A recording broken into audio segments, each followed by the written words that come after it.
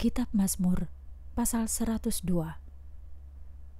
Doa pada masa kesesakan Tuhan, dengarlah doaku, dengarkanlah permohonanku. Janganlah memalingkan muka daripadaku pada masa kesesakanku ini. Dekatkanlah telingamu kepadaku dan jawablah doaku dengan segera karena hari-hari hidupku menghilang bagaikan asap.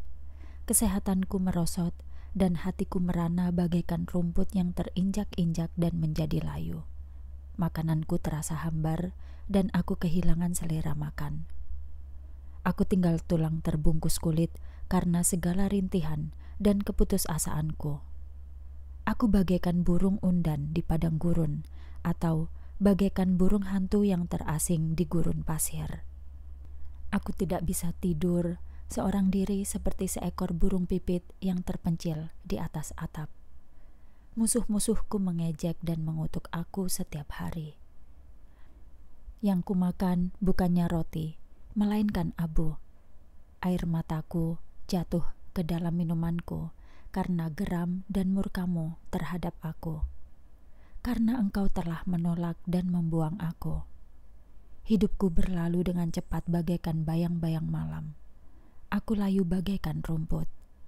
Tetapi Engkau, ya Tuhan, adalah Raja untuk selama-lamanya, dan kemasyhuranmu akan dikenal orang turun-temurun.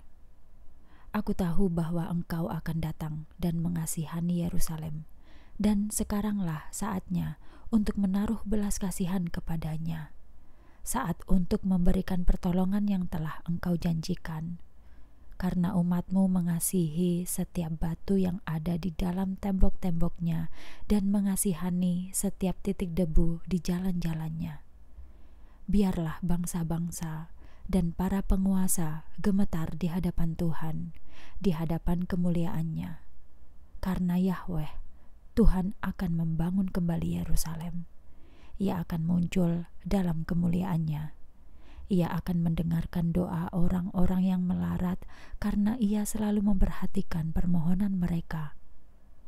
Ini kutuliskan supaya angkatan-angkatan yang akan datang juga memuji-muji Tuhan atas semua yang telah dilakukannya, dan juga supaya bangsa-bangsa yang akan lahir dapat memuji-muji Tuhan.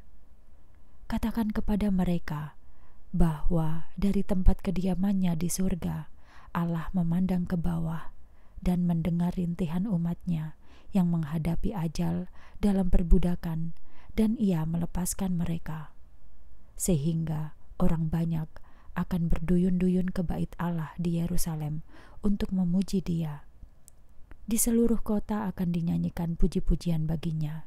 Banyak raja dari segala penjuru bumi datang untuk menyembah dia ia telah memperpendek hidupku, dan aku hanya mencapai umur setengah tua. Tetapi aku berseru kepadanya, "Ya Tuhan, Engkau hidup untuk selama-lamanya. Jangan biarkan aku mati pada pertengahan umurku." Dalam abad-abad yang telah silam, Engkau meletakkan dasar bumi dan membuat langit dengan tanganmu. Semua itu akan binasa tetapi engkau hidup untuk selama-lamanya. Semua itu akan menjadi tua, seperti pakaian usang, dan engkau akan menggantinya seperti orang yang membuang baju yang lama setelah mengenakan baju yang baru. Tetapi engkau sendiri tidak akan menjadi tua. Engkau tetap selama-lamanya, dan tahun-tahunmu tidak berkesudahan. Tetapi keturunan kami akan berlangsung terus. Angkatan demi angkatan akan terpelihara di bawah perlindunganmu.